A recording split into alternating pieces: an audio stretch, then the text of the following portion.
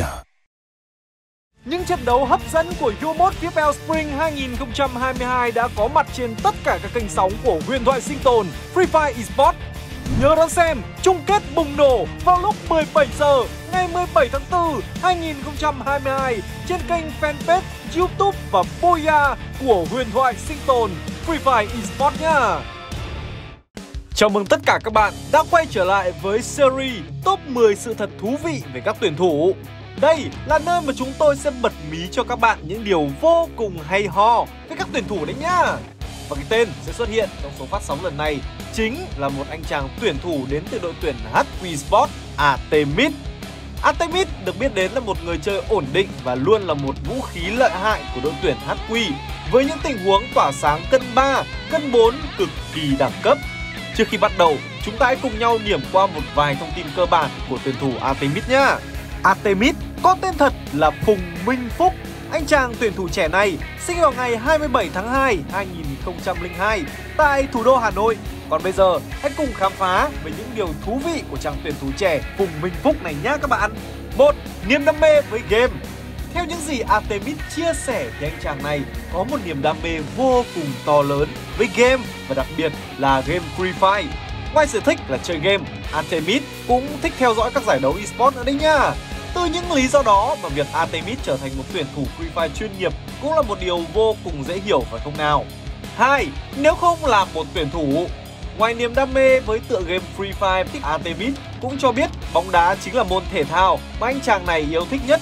Nếu có thời gian rảnh, Artemis sẽ rủ bạn bè của mình tham gia vào những trận bóng đá thật là đỉnh cao.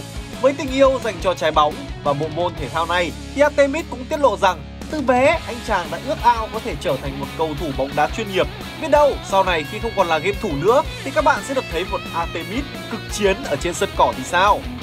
3.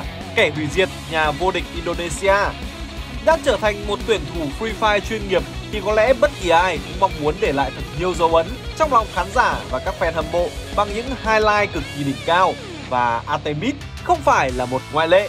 Dành cho những ai chưa biết thì tại giải đấu Free Fire Asia Championship, một mình Artemis đã cân đến 4 thành viên của đội tuyển EVOS Divide để mang về một pha giao tranh thắng lợi cực kỳ ngoạn mục dành cho HQ. 4. Chăm chỉ luyện tập và tất nhiên, để có thể có những pha xử lý đẳng cấp cân 3, cân 4 ở những giải đấu Free Fire chuyên nghiệp, đòi hỏi các tuyển thủ của chúng ta phải có cho mình tâm lý thi đấu thật tốt và đặc biệt là kỹ năng xịn sò. Để đạt được điều đó, Artemis đã phải chăm chỉ luyện tập rất nhiều. Theo những gì được chia sẻ, có những ngày anh chàng này training liên tục từ 2 giờ chiều đến tận 10 giờ đêm luôn đấy. Nếu muốn chơi game Free Fire thật giỏi thì các bạn cố gắng luyện tập như em Mid VIP Pro 123 nhá. Nhưng đừng quên là phải ăn uống và cả nghỉ ngơi nữa đấy. 5. Lạnh lùng và ít nói Trái với vẻ ngoài có phần lạnh lùng và ít nói thì Artemis lại được bạn bè đồng đội của mình đánh giá là một con người khá vui vẻ và hòa đồng với mọi người xung quanh. Artemis còn nói rằng anh có khả năng kết bạn và nói chuyện với bất kỳ ai, kể cả khi mới chỉ gặp lần đầu. 6. Tật xấu Con người thì ai mà chẳng có tật xấu, và tật xấu của Artemis chính là hay quên. Theo như những chia sẻ thì Artemis rất hay quên những chuyện lặt vặt và những lần quên này đôi khi cũng đem về những tình huống vô cùng éo le. Ngoài ra, Artemis còn có một tật xấu là hay nóng tính. Đó giờ, mọi người nghĩ rằng ở HQ thì chỉ có Neo là hay nóng tính đúng không nào? Bây giờ thì biết thêm, có cả Artemis nữa đấy. Nếu bạn có thể theo dõi mic check thì những pha cãi nhau của HQ phải gọi là ối rồi ôi luôn. Ước mơ cùng HQ Esports HQ Esports chính là nhà vô địch của khu vực châu Á tại giải đấu FFAC. Nhưng có lẽ danh hiệu đấy vẫn chưa thể là đủ. Artemis có nói rằng anh chàng này muốn chinh phục được tất cả các danh hiệu cùng đội tuyển HQ Sport.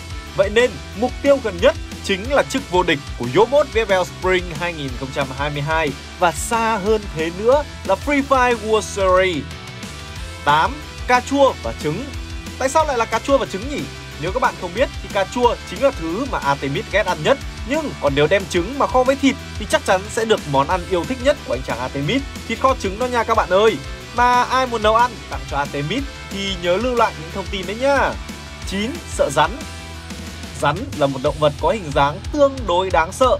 Vậy nên không chỉ có Artemis mà còn có rất nhiều loài động vật khác nữa đấy nhá. Artemis chia sẻ rằng chỉ cần thấy hình ảnh của rắn thôi là anh chàng này đã cảm thấy sợ hãi rồi. Còn nếu gặp phải ngoài đời thì phải chạy ngay, không mất dép luôn. Matcha đã say nhầm ánh mắt Artemis. Artemis là một tuyển thủ vô cùng điển trai và thông tin sau đây chắc chắn sẽ làm tan nát những con tim của những cô nàng say đắm Artemis đấy nha.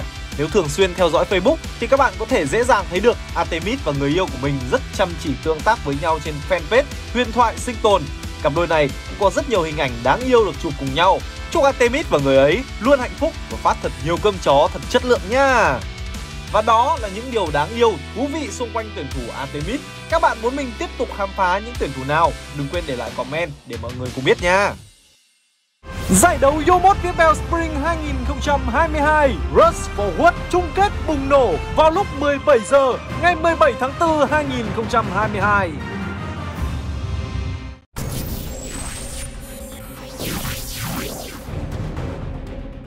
Ấn đăng ký ngay và bật nút chuông thông báo của huyền thoại sinh tồn Free Fire Esports để cập nhật những thông tin thú vị và hòa mình vào những trận đấu esports đỉnh cao.